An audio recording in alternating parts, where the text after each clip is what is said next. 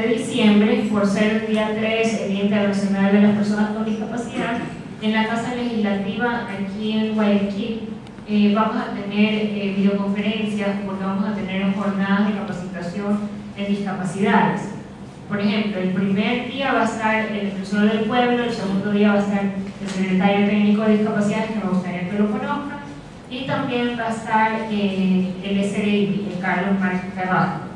Entonces hay un montón de elementos que pueden ahí sacar para eso. ¿no? El segundo día estoy confirmando los actores pero eh, la intención es que haya eh, Gustavo Yar con acceso a la justicia. Eh, ese es el tercer día.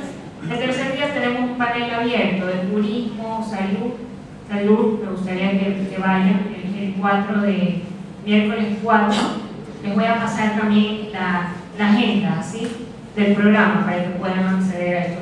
Es con libre acceso, pueden llegar a las personas que quieran y eh, esto es de parte del Grupo Parlamentario por los Derechos de las Personas con Discapacidad. Es primera vez en el país que hay este grupo, pero creo que es bueno para que exista una visibilización del grupo. A ver, los permisos 那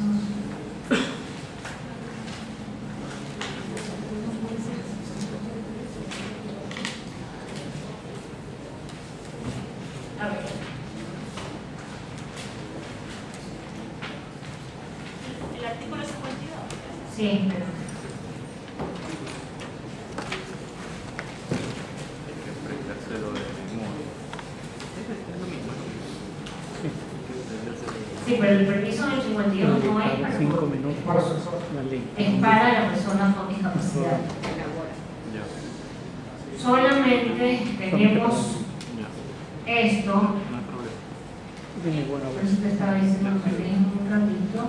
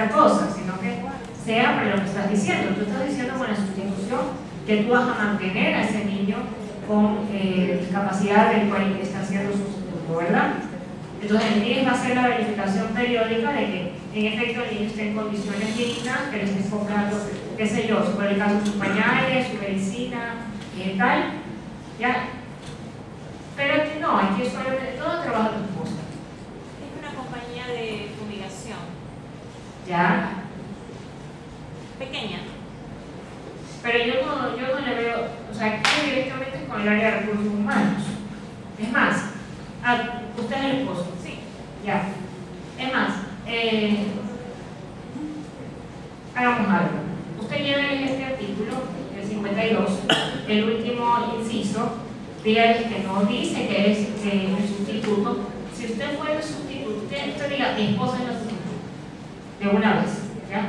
Yo no soy sustituto, pero yo sí tengo bajo mi cuidado y responsabilidad a mi hija. ¿Usted tiene la patria potestad también compartida con la señora? Ya, al tener patria potestad, naturalmente tiene la responsabilidad de su hija.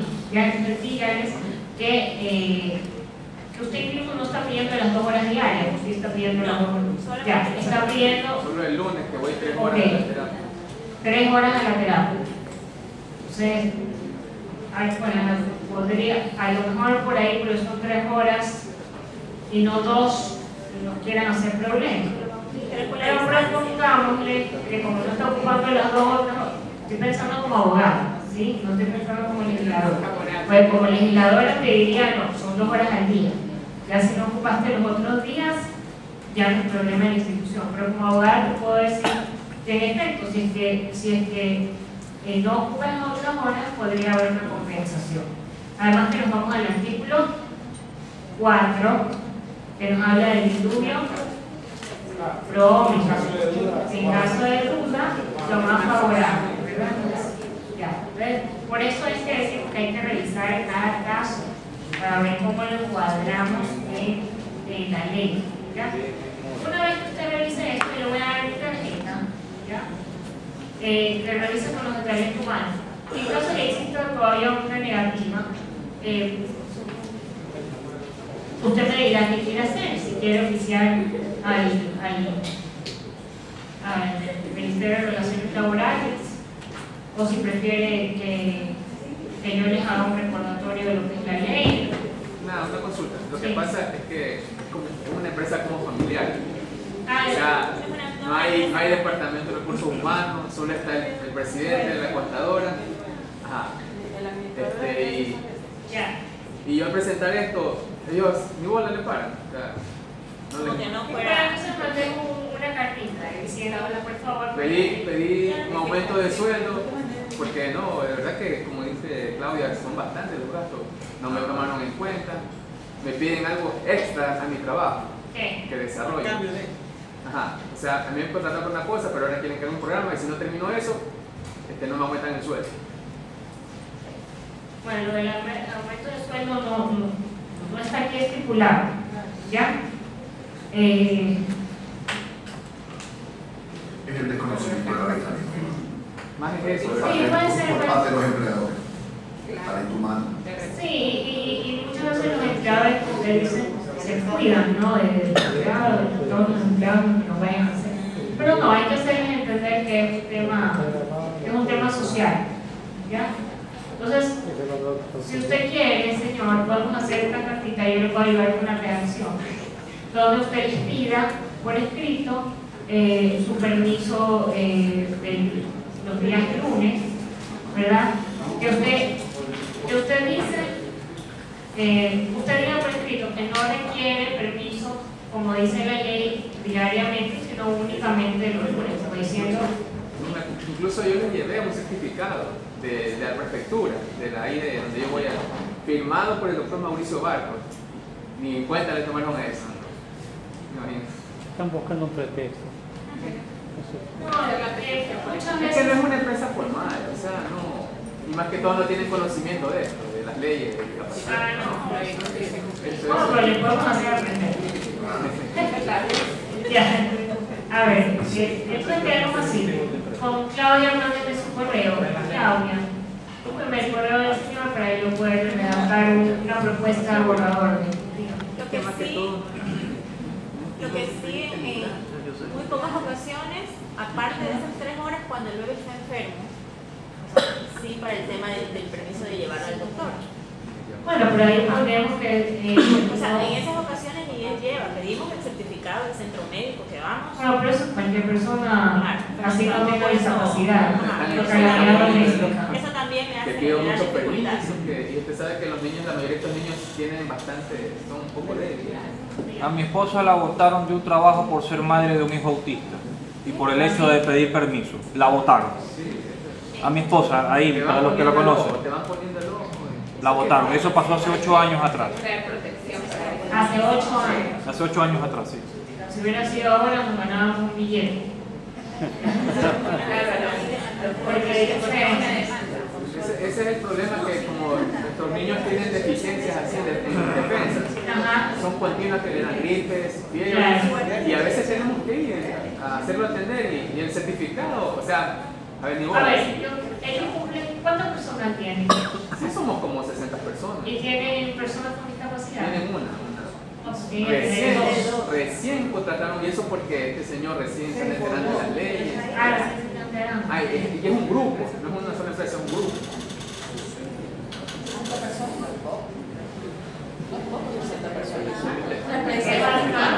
Ah. Ya, este.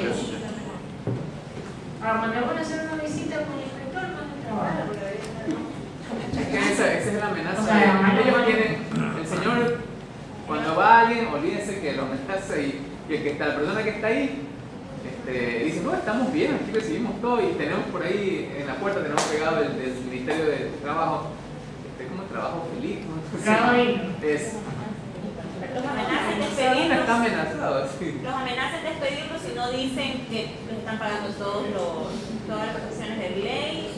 Bueno, pero ustedes se votaron, porque el artículo 51 dice que eh, el despido injustificado, que significa despido intempestivo, ¿sí? de una persona con discapacidad donde tuviera su cargo la manutención de una persona con discapacidad deberá ser indemnizada, indemnizada con un valor equivalente a 18 meses de la mejor remuneración.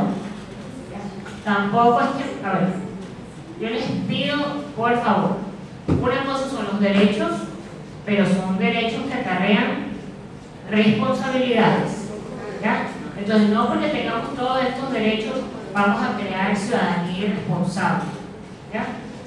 Es más, por tener hijos con discapacidad, por ser personas con discapacidad, hay que dar el 150% en el trabajo. ¿ya?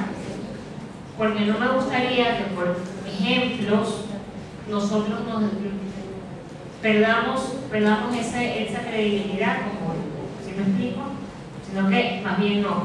Eh, la ley está para apoyar la injusticia, pero no cosas que causemos nosotros mismos. Esto de los 18 meses, déjame explicarlo en la indemnización. Naturalmente, existe una indemnización por despido intempestivo, que es elevada, ¿cierto? Pero adicionalmente a eso, eh, si tienes una discapacidad o eres padre de una persona con discapacidad que tienes a cargo la manutención, ¿sí? se entiende eso, repito, con la patria potestad, ¿ya? Eh, tienes 18 meses de salario adicionales a la indemnización legal correspondiente. No a inventar. Si te corresponde por indemnización, eh, tenías un sueldo de 500 dólares y te corresponde una indemnización de, de 1.500 dólares por despido eh, intempestivo o injustificado, tienes bueno, 9 mil dólares adicionales de indemnización por despido justificado a, a este grupo de trabajo. A este grupo. Disculpa, solo en el caso que tengas una discapacidad, que tengas el carnet del CONADIS, o A ver. en el caso que tengas... Técnico elemental. Estamos hablando de personas con discapacidad aquí que pueden hacer uso de esto únicamente aquellas que tienen el carnet, que tienen el registro de personas con discapacidad. Porque la discapacidad tiene característica de permanente. Una persona que se rompió la pierna, se desguinzó o lo que fuera, no es discapacidad. Es una inhabilidad temporal, pero no es una discapacidad. Entonces tenemos que tener el carnet para poder ejercer todos estos derechos. ¿Ya? Entonces, eh, ¿por qué pusimos a cargo de la manutención y todo esto? Porque no me gustaría tampoco que padres o madres irresponsables utilicen a sus hijos para tener estos beneficios. ¿ya? O sea, típico hay el padre que nunca apareció, nunca dio ni para los pañales, yo qué sé, y de repente porque le beneficia tener un hijo con discapacidad es el padre ejemplar y se hace. ¿ya? O sea, hay, créanme lo que hay los escenarios más insólitos, los escenarios más insólitos, eso existe. Ya. Entonces en la indemnización estamos ok. eh, me comprometo a hacerle la cartita con la petición de lo más polite posible, como es mi caracterización. ¿ya? O sea, lo más suave posible, como para que tomen cartas en el asunto. En caso de que no, eh, no procedan con el permiso de la forma adecuada, como, como se está solicitando, entonces tomemos otra decisión. Pero hasta eso, nuestra decisión dejémosla en hacer la carta con la petición del permiso, fundamentada en los artículos, adjuntando eh, lo que me dice la prefectura y adjuntando el carnet de la bebé, ¿ya? Listo, quedemos hasta ahí y luego tomamos otras, no nos amaremos por punto, tomamos otras decisiones en caso de que no suceda. Sí. Me quedó una, una duda. Este, usted le preguntó si él tiene la patria potestad. Nosotros somos los papás. Este, Pero no están divorciados. no, estamos casados, estamos juntos. Ahora, este, si yo me declaro sustituta del, del- del Sí. bebé, ¿no? O sea, yo aplico eso y él aparte podría aplicar lo del permiso. Sí, Ah, no necesariamente el que se declara sustituto tiene que aplicar el permiso. no. Gracias. No, pero no te dice aquí los sustitutos, te dice,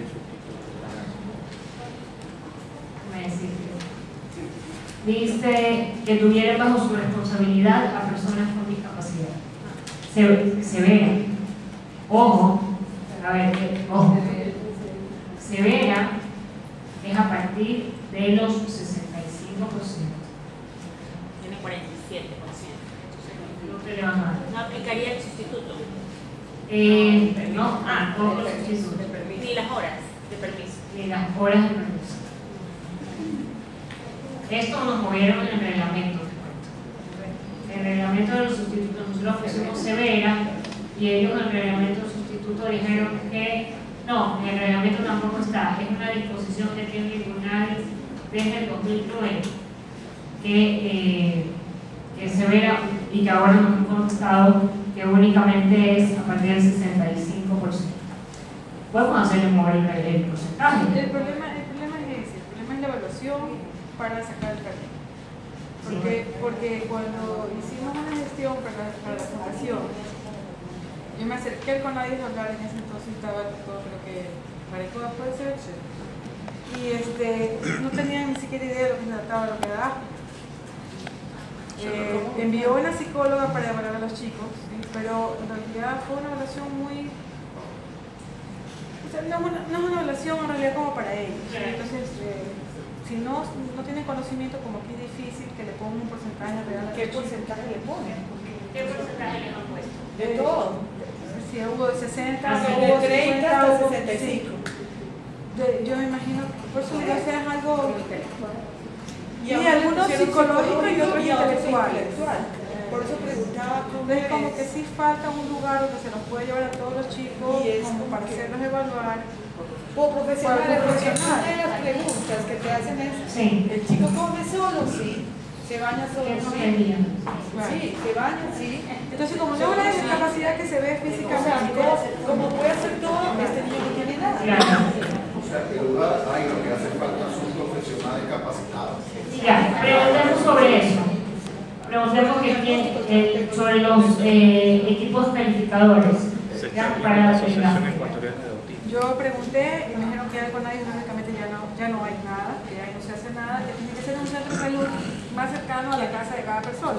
Pero yo digo, si es que en el CONAI no sabían que era un solo lugar, ¿cómo va a ser en cada centro más cercano a casa? Es imposible. Ya, ya les voy a preguntar. Por eso es importante que esté el día miércoles. El día miércoles 4 es importante, porque ustedes le pregunten esto a la ministra de Salud. ¿ya? Yo le he prometido a ella que no vamos a ser polémicos, pero yo tampoco puedo controlar a ustedes. Este, al señor y la señora, déjame revisar la legislación del Código de Trabajo, ¿ya? Porque eh, aquí está lo de la discapacidad severa, pero no descarto que puedas tener una salida por el Código de Trabajo, ¿ya? Déjame revisar y, eh, este, Claudia, eh, sí, le podemos dar, le podemos dar mi correo a, Alison, mi correo al señor. Envíen un correo diciéndome los detalles, ¿no? El porcentaje de la bebé, el, eh, cuántas horas usted requiere para yo poder resolver desde, la asesoría legislativa y la asamblea. ¿ya? Abogado, Con. Una pregunta. Este, abogada, en mi caso particular, eh, mi niño actualmente tiene 5 años y yo lo estoy haciendo ver desde que nació porque ha venido en la convulsión.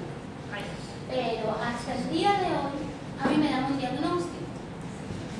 En, en un hospital me dan un diagnóstico como no hay todo en ese mismo hospital, voy a otro hospital a buscar. ¿no? Y me dicen que no es el diagnóstico que me dieron acá. Entonces, ahora me dicen que yo tengo que esperar dos años más para recién obtener el diagnóstico de mí. Entonces, la verdad, sí falta bastante personal a capacitar, porque no saben sobre este tema en particular. Eh, per- perdón Sí. un ratito, perdón un ratito, Claro. Lo que dice la señora es verdad. Dice, pero yo quiero añadir algo a lo que dice ella, defender lo que dice ella también. Dice, dice personal capacitado.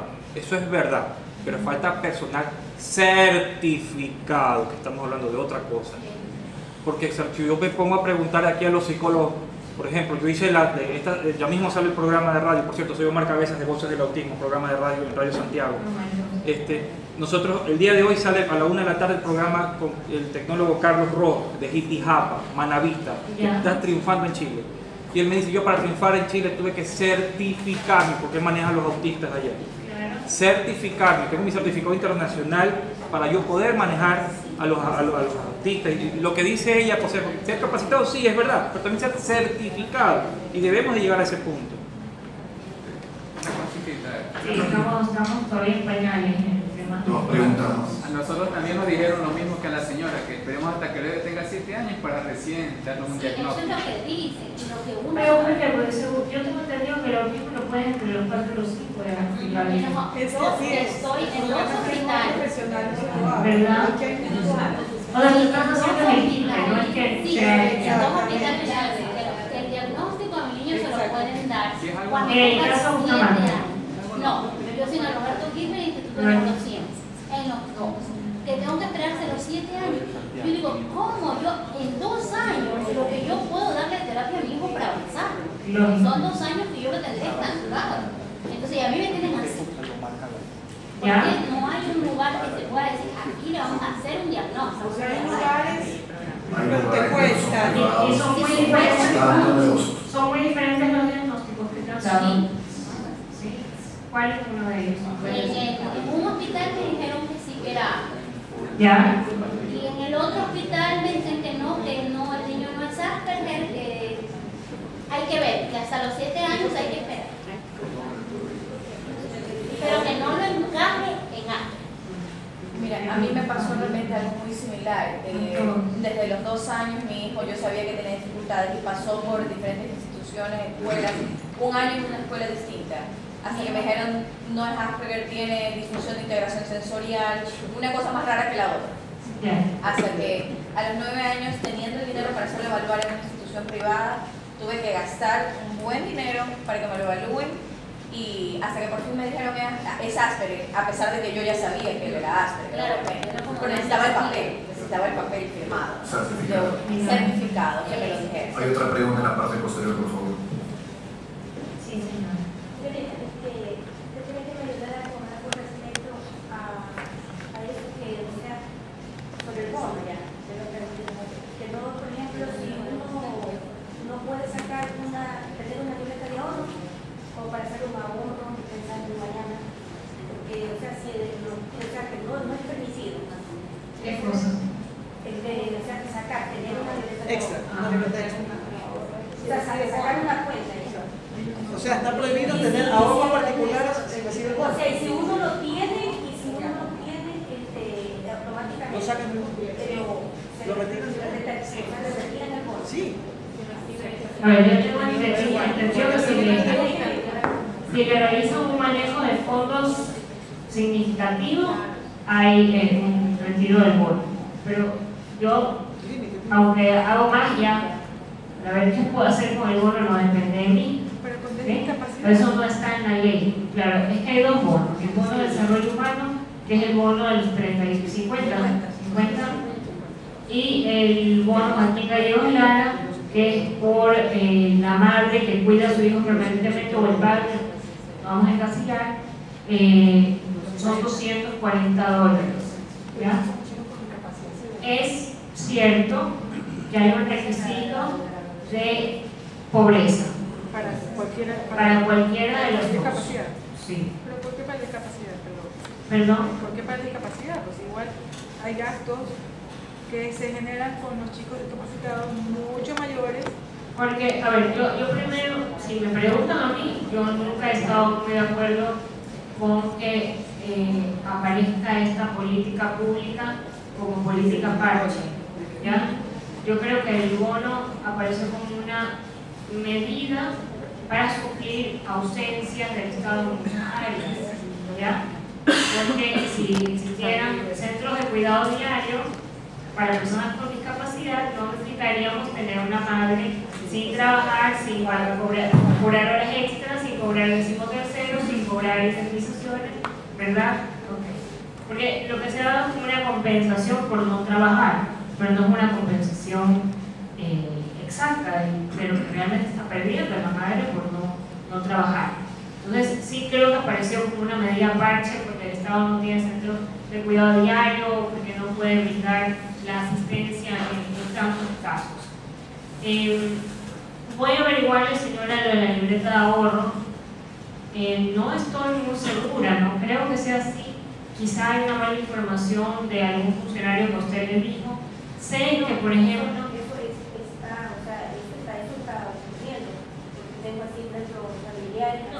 no, porque de hecho necesita usted tener una libreta para poder, para donde le deposita. Entonces, no, por eso le digo que para mí no.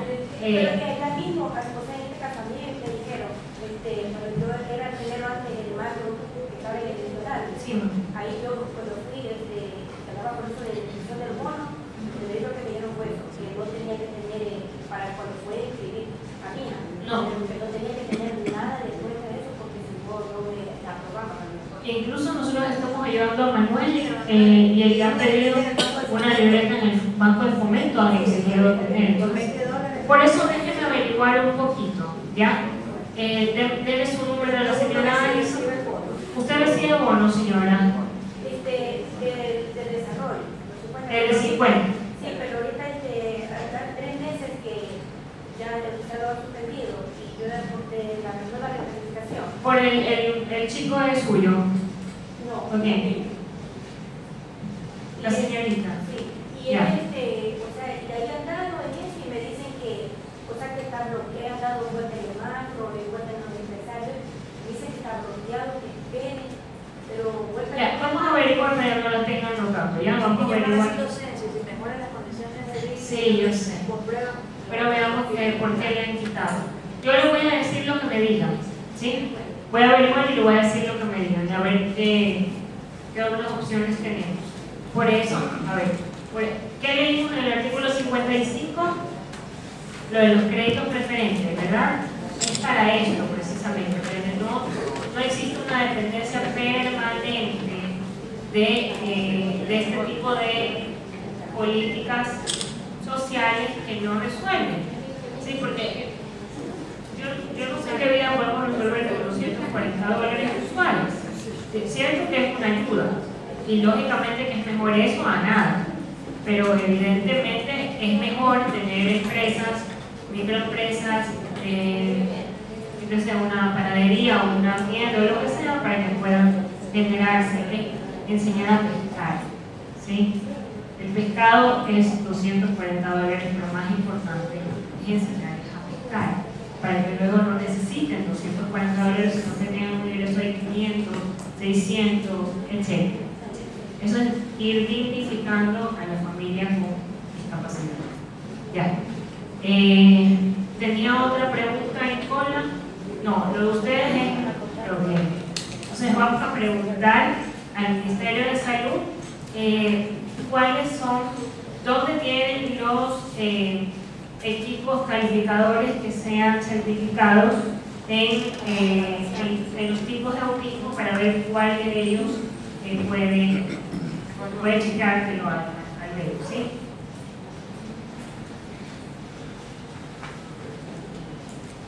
A entonces, no puede ser que recién lleguemos a educación. A ver.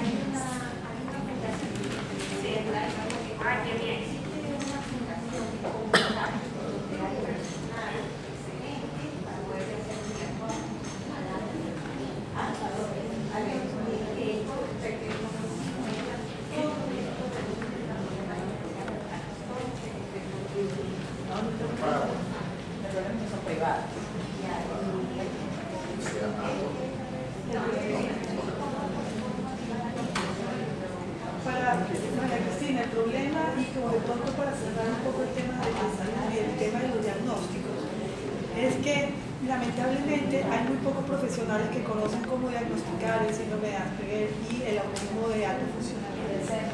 Es muy difícil hacerlo porque son chicos que tú los ves normales, que físicamente no tienen nada. Pero contraten, o sea, preguntemos si ellos no tienen, tienen que contratar. Entonces, una de las preguntas que ellos puedan contratar o saber conocer o que admitan los diagnósticos de las empresas privadas que lo hacen, que no hay muchas. Que los validen. que los validen. Porque realmente no existe profesionales, nosotros pero, y no cualquiera. que no puede pagar. Eh, Es que ese es el problema, no cualquiera puede pagar. Es que lo, lo, Es que eso- lo eso- ideal y lo que debería hacer es, el Estado asume que no, no tiene ese personal. Por tanto, tiene que pagar en un espacio privado lo que él no puede hacer. ¿Ya? Entonces yo primero necesito que él me diga- el Estado me diga, yo no tengo. Entonces yo decirle, ok, entonces necesitamos que las consultas de estas personas que van a estos lugares, ¿sí? Primero, ustedes validen esos lugares como centros de diagnóstico eh, para certificación de discapacidad. Y una vez que ellos hagan ustedes paguen ese valor. Creo que eso es lo primero. Agotar en el Estado que no existe. Y por otro lado, decir, estas son las opciones en la vía privada. ¿Ya? Creo que eso es el- la solución. Pero hay que preguntar. Entonces, eso, es lo que ¿Sí? Ya. 500. 500. 500 dólares cuesta. Sí, ahora sí. Particular. Ajá, la evaluación. 500. Es que tampoco es un día. Son, no- que son como 4 o 5 días Claro, son muchas pruebas, muchas evaluaciones, que te ven en un solo día te un diagnóstico, no funciona así. Y Pero el Estado se puede pagar eso. Pudiera elevar el tono, por favor, para que todos escuchen. Por lo menos en inglés. A ver, ¿En qué centro? amigos, tenemos educación. sí, sí, claro. Ya. Tipos de educación en el país para personas con discapacidad. Educación inclusiva y, y- e inclusión, Especial. educación especial. ¿sí? La educación inclusiva es la prioridad. O sea, una vez que digamos, no puedo en un establecimiento de educación regular, yo como padre prefiero por un tiempo hasta poderlo orientar o lograr una, una asociación positiva con eh, sus semejantes, eh, lo voy a poner en una educación eh, especial, eso es opción de ustedes. No es opción del Estado, menos opción de los establecimientos de educación. Es opción única e exclusivamente de los padres. ¿Ya? Eso dice la Constitución y lo aclara en eh, la Ley Orgánica de Discapacidades. Incluso en el artículo 29 dice que el ingreso, la derivación a los establecimientos educativos especiales para personas con discapacidad será justificada única y exclusivamente en aquellos casos en que luego de efectuada la evaluación integral previa solicitud o aprobación de los padres o representantes legales por el equipo multidisciplinario especializado en discapacidades certifiquen mediante un informe integral que no fuera posible su inclusión en los establecimientos educativos regulares. Es decir, ustedes tienen que solicitar esta evaluación o aceptarla. No es que nadie se las puede imponer. Eh, he tenido casos donde, donde les han obligado a hacer eh, la evaluación, caso contrario no los aceptan. En caso de que no los acepten por no hacer la evaluación, por favor me avisan. ¿Sí? Esas evaluaciones que hacen en el 12-2. No sé. Acá, acá a un, a un hace el chico, Ministerio de, Educación. sí, a un, eh, a un chico que me visitó en Quito y le habían hecho obligatoriamente este, eh, este diagnóstico educativo y le habían dicho que no, que no vaya a estudiar, que se vaya a ese campo.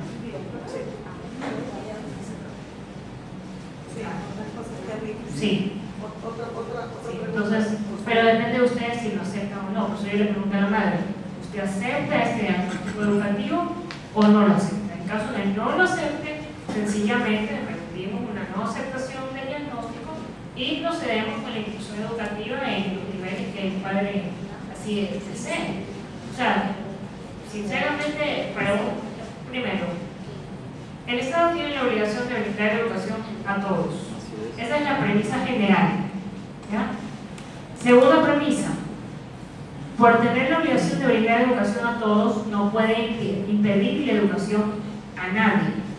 Por tanto, si una persona con discapacidad no accede a la educación gratuita del Estado, pero quiere requerir eh, una educación particular, el Estado, es decir, el Ministerio de Salud, no puede impedirlo. ¿Cierto? Pero tenemos un silogismo perfecto, ¿no? Hay, hay obligación de educación, no impedir eh, de acceder a- a la educación a cualquier nivel. Si nos encontramos un gravísimo problema en el artículo 29, en el último inciso. Pero no es grave, el problema es gravísimo. Porque dice, la conformación y funcionamiento de los equipos multidisciplinarios especializados estará a cargo de la Autoridad Educativa Nacional de conformidad a lo establecido en el reglamento. No tenemos reglamento. Mientras no tengamos, por eso es, la gente me dice, ¿pero ¿para qué quieres reglamento? Para esto quiero reglamento para que podamos decir cómo van a estar conformados y cómo van a funcionar los dichosos equipos disciplinarios, a los que tienen, de acuerdo al artículo 34 de la misma ley, la responsabilidad del Ministerio de Educación. El artículo 34 dice que la Autoridad Educativa Nacional garantizará en todos los niveles la implementación de equipos multidisciplinarios especializados en materia de discapacidades quienes deberán realizar la evaluación, seguimiento y asesoría para la efectiva inclusión, permanencia y promoción de las personas con discapacidad dentro del sistema educativo nacional. Entonces, ok, ahí que le dice la autoridad que tiene que tenerlo, ¿verdad? Pero más allá, antes dice que el funcionamiento y la conformación, es decir, la contratación, quiénes son, por dónde van, cuántos son, eso está por el reglamento. Entonces, mientras no tengamos reglamento, yo sé lo que me va a responder la autoridad educativa. Me va a decir, no tengo reglamento, no voy a poder hacerlo. ¿Sí o no? Entonces. ¿Verdad? Entonces, en, en ustedes, este que era mi, mi opción, para que ustedes no tengan problemas en el tema educativo, les digo que son, este, este artículo, a ver, yo les digo que yo conocí el autismo cuando yo tenía 18 años. Porque eh, empecé a trabajar, conocí a una mamá de un niño con autismo, se llama Isaac.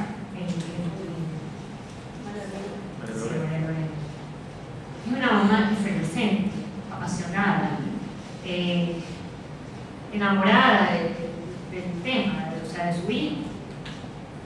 Y a mí se me da vuelta hacer el autismo desde esa época más allá de diversidades de pensamiento, lo que sea, conocí al.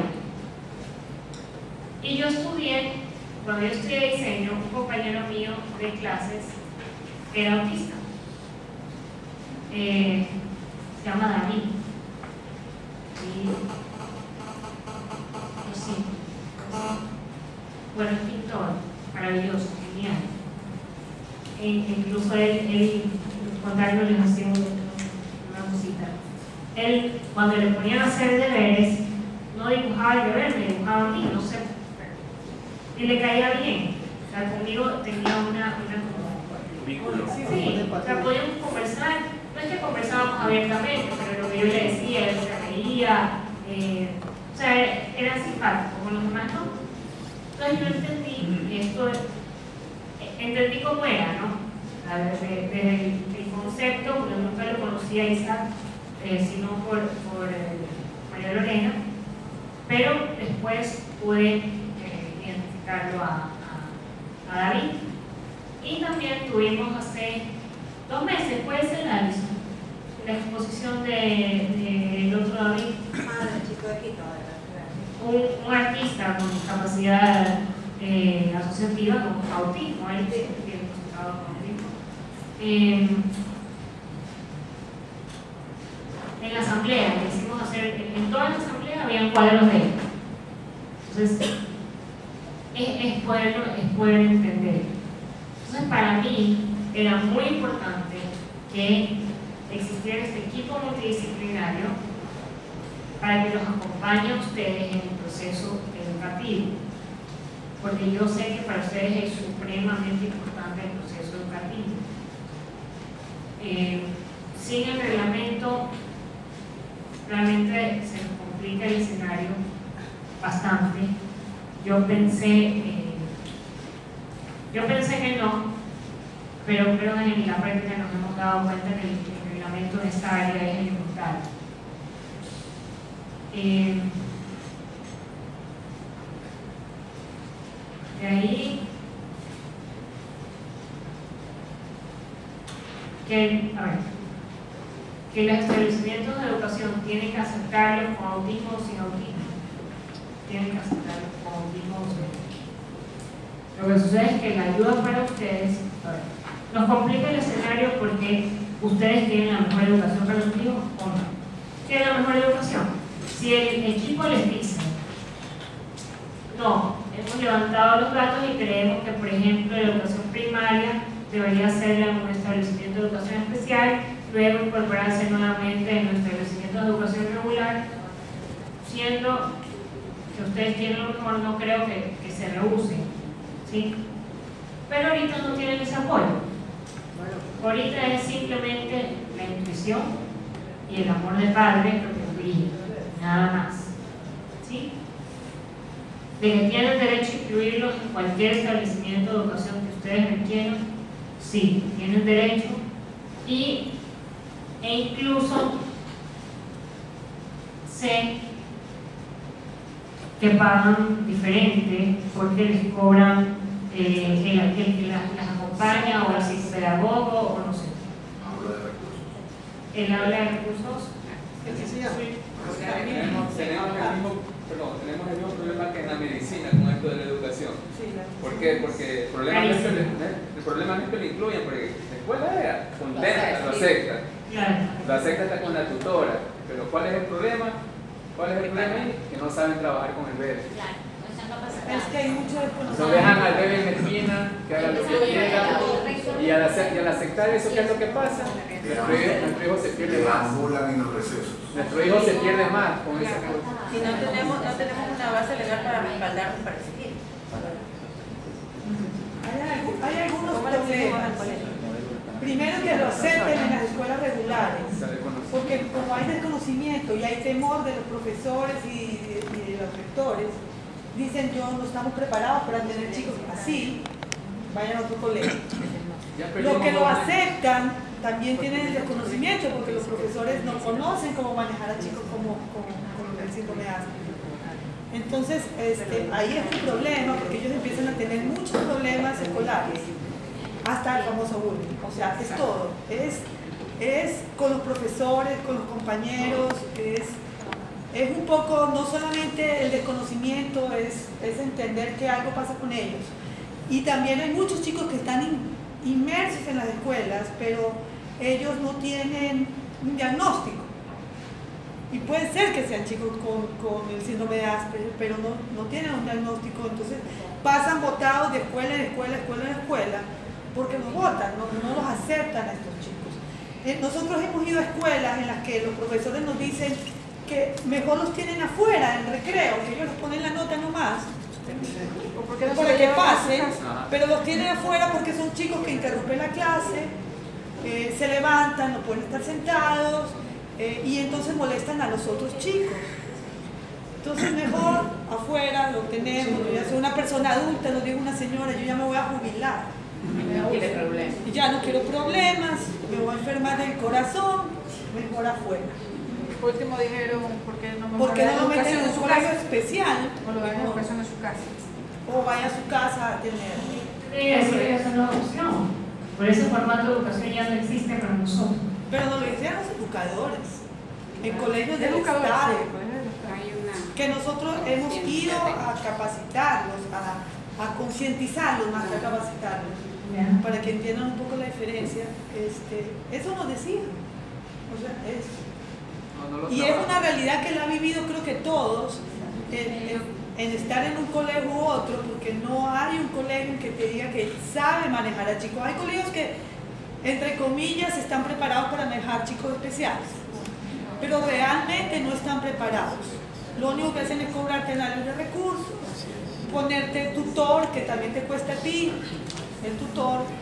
Este, y el que no tiene dinero, vayas a su casa. Yo tengo muchos chicos. claro. Recomendarle las terapistas. Claro, recomendar a terapistas. Y, a- y yo tengo muchos chicos que han tenido que estar en sus casas porque ya no pueden estar escolarizados, porque no hay instituciones para que los puedan ayudar. Entonces, en la parte educativa sí es Lo de solucionar, disculpa, los problemas que nos genera. Por ejemplo, cuando yo estaba trabajando, era un sinfín de llamadas, notas del diario. Porque tenías que vivir en el colegio, Casi que les hacen bullying a los padres. Hay una pregunta en la parte posterior, por favor. estar bien. Acoso. Una pregunta. Continúe, tenga la gentileza.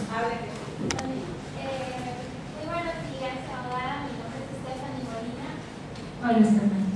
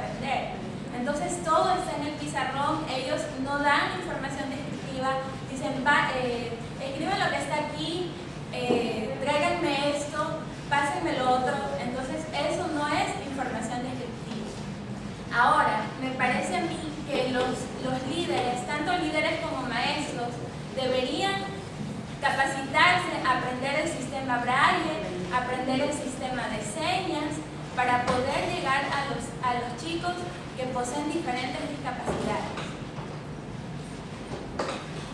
¿Ya?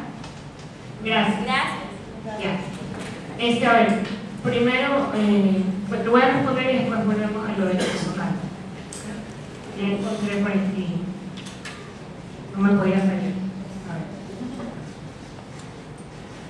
Eh, el artículo, cin- el artículo 33 que te habla de la accesibilidad de la educación, te dice que la Autoridad Educativa Nacional, en conjunto con los CATS, tiene la tarea de vigilar que haya accesibilidad. Ya hablamos de accesibilidad, no son rampas, ¿cierto? Son varias cosas. Aquí están algunos de los elementos de la accesibilidad. Eh, dice que la Autoridad Educativa Nacional procurará que las escuelas especiales, siempre que se requieran, es especial en la institución que tú me dices. No, la institución es partic- eh, fiscal, regular. Es regular. Sí, así es. Son niños integrados. eh, Son escuelas niños que están integrados. realizando la institución educativa.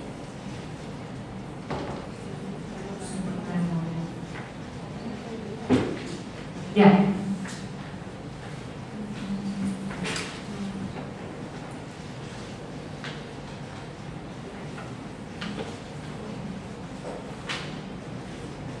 No, no importa, aunque diga especiales, hablando de la inclusión, creo que sí podrían pedir eh, que se traduzcan los, los textos en braille.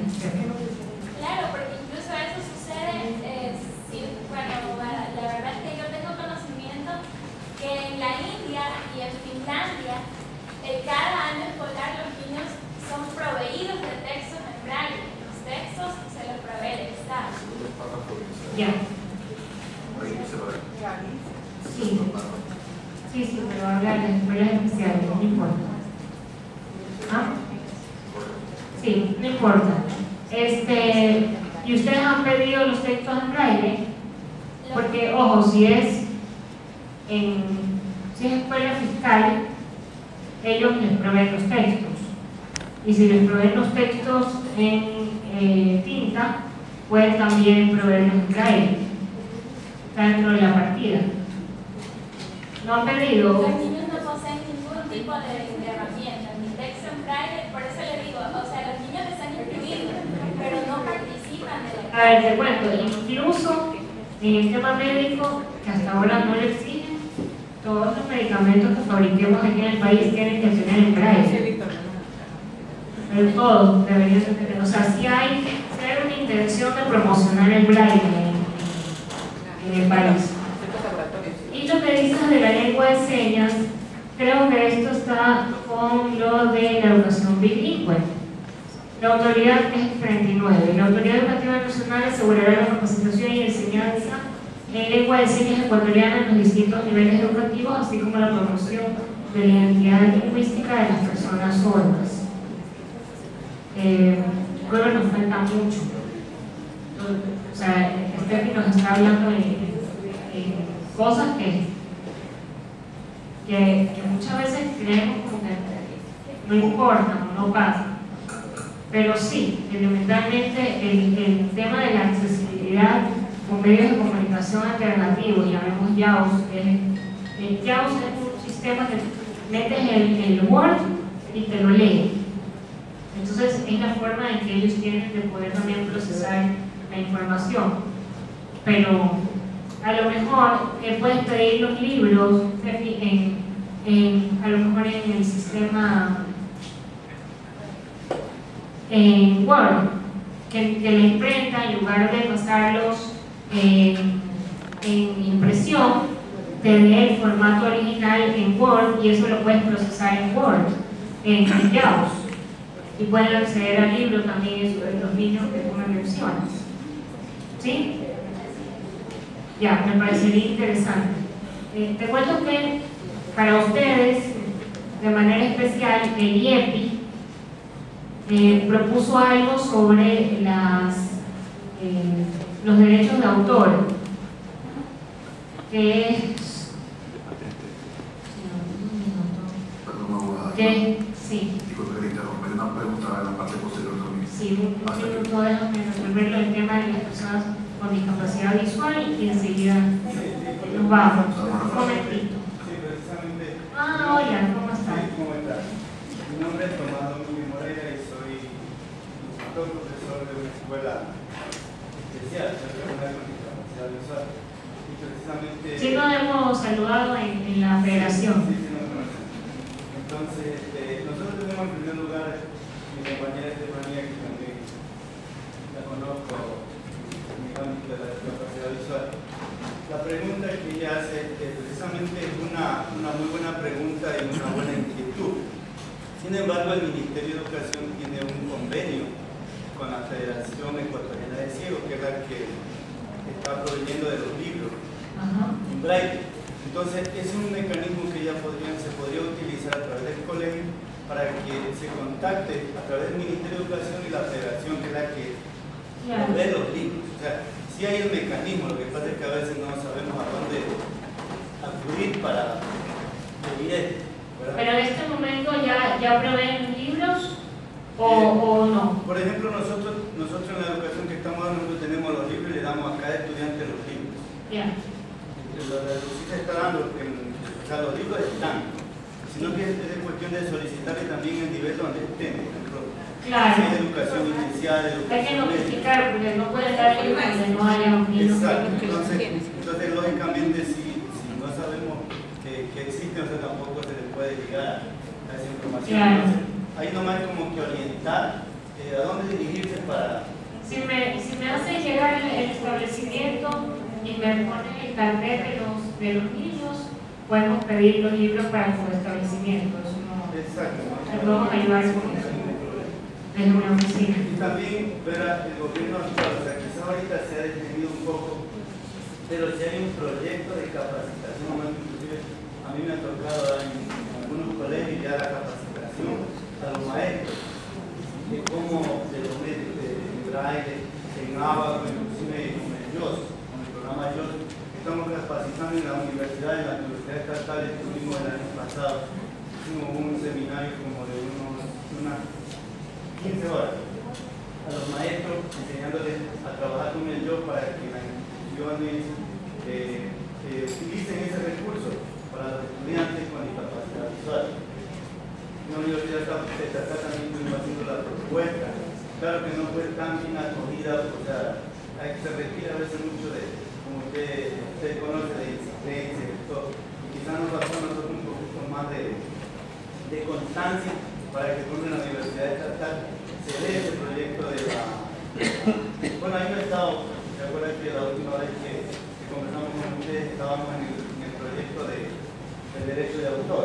Sí. Eh, cuando yo hice la propuesta en la universidad, todavía no existía eso, entonces esa fue la, la, la parte que me dijeron, no se puede porque imagínense, nos van a demandar. No, pero ya está. Digitalizamos los libros. Pero Sí. ahora sí, ahora sí ya está, ya como que es más fácil, o sea, estamos ya en, digamos, en la época donde ya podemos pedir, o sea, y no, no se va a negar.